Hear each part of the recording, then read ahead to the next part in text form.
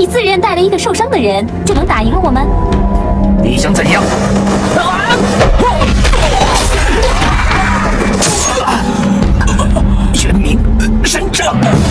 鹰野王大义灭亲要杀了朱儿，还打伤了出言求情的张无忌。谁知青衣服王为一笑突然现身，利用绝顶轻功掳走朱儿，要吸了朱儿的鲜血压制寒毒。鹰野王刀子嘴豆腐心，不过是在吓唬朱儿，哪能真的放任朱儿不管？连忙施展轻功追了上去。可惜韦一笑的轻功实在太高，鹰野王根本难以望其项背。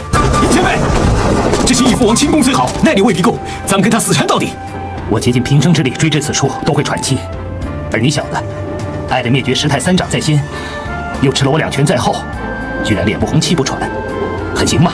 张无忌年纪轻轻有如此深厚的内功，让鹰野王不禁对他刮目相看。张无忌同样看出端倪，认为鹰野王还是关心珠儿的安危，否则也不会一路追赶至此。鹰野王还想欲盖弥彰，声称韦一笑当面劫走珠儿，实在是没将他放在眼里。突然号角声响起，鹰野王听出是天鹰教的求救信号，顾不得和张无忌解释，立刻施展轻功赶了回去。张无忌担心韦一笑会吸了珠儿的鲜血，根据地面上留下的脚印，继续追赶起了韦一笑。韦一笑休息，我不休息；他睡觉，我不睡觉。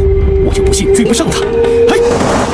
一盏茶时间后，鹰野王赶回天鹰教驻地，发现带来的天鹰教人马尽数战死，仅剩下堂主白龟兽苦苦支撑。鹰野王及时相救，与打伤白龟兽的扎牙赌交起手来。扎牙赌不是鹰野王的对手，被一剑划破衣服，落入下风。鹰野王扶起重伤的白龟兽，询问这到底是怎么回事。白龟兽还未答话，始作俑者赵敏带人现身，他自称来自正气帮，专门对付明教这等邪魔外道。鹰野王行走江湖数十年，根本没有听过正气帮的名号，一眼看出赵敏是在胡说八道。天地有正气，凡是有正义感的，绝不容许魔教在这天地之间存活的。杀我教众！怎么？你自认带了一个受伤的人就能打赢了我们？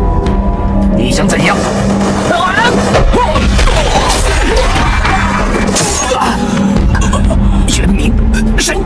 玄冥二老不讲武德，用玄冥神掌打伤了鹰眼王，这是赵敏的又一计谋。他要鹰野王去找杨逍，杨逍若是替鹰野王疗伤，必定会损耗大量真气，到时候面对六大派的高手定然乏力，更可以激起明教的斗志。到时候与六大派两败俱伤，他们才可以坐收渔翁之利。画面来到一线峡，六大门派的高手齐聚一堂，商量如何攻打光明顶。混元霹雳守城坤化深元真和尚代表少林寺出席会议，他对光明顶无比熟悉，说出有七颠十三崖，易守难攻。照元真大师这么说，我们根本就上不了光明顶。